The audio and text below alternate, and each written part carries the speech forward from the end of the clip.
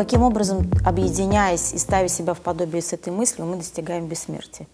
А потому что сама мысль, она бессмертна. И что тогда наше Мы, мы проходим через состояние физической нашей материи, энергии, э, всего того, что создано было из э, точки, как- из которой взорвался весь этот наш мир, из состояния Big Bang, э, э, из всего этого. Мы выходим из этого состояния, мы поднимаемся над материей, мы поднимаемся именно к, э, э, над энергией, над информацией, над всем, мы поднимаемся к мысли. Но То есть- мысль сама по себе, мысль сама по себе – это энергия. Бехтерев называл ее мировой энергией. Он Ну, был в это, этом это, прав? это, это, это, можно назвать ее, конечно. В на- в на- нам надо как-то определиться в наших э, Ощущениях. ощущениях. Да, но это, но это не та энергия, о которой мы говорим. А- а это не материальная Что- энергия. А что это, что это за энергия? Э, мы говорим о мысли, которая... эм, это не наша мысль даже. Если уже мы говорим э, о чистой мысли, то это мысль, э, которая направлена на отдачу, а не на получение. То есть это противоположное всем нашим мыслям, всем нашим э, направлениям, намерениям.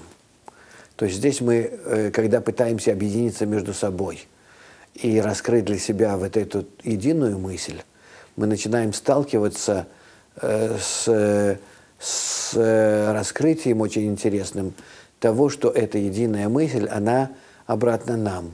Она действует на отдачу, на абсолютную отдачу. То есть она по своей природе, эта единая мысль, на которой держится вся энергия, материя, информация, вся природа, неживая, растительная, животное, человек, наш мир, вообще все, что только мы можем вообразить.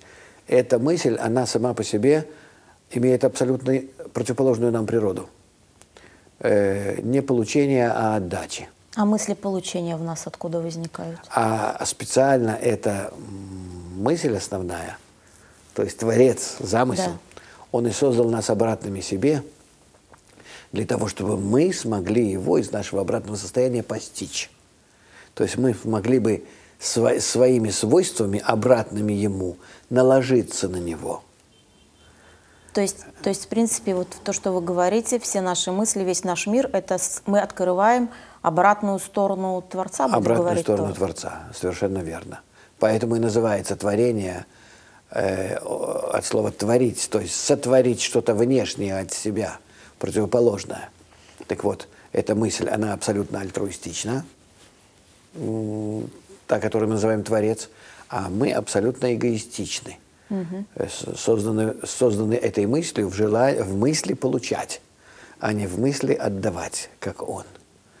И, но и благодаря именно этому мы являемся нечто отличным от него, существующими самостоятельно и могущими познать его извне, наложиться на него. Именно из этого различия именно благодаря этому различию. И поэтому мы приходим к состоянию, к такому, что существуем мы и он, и мы можем достичь подобия с ним, оставаясь противоположными ему по своей природе. Потому что природу нашу мы изменить не можем.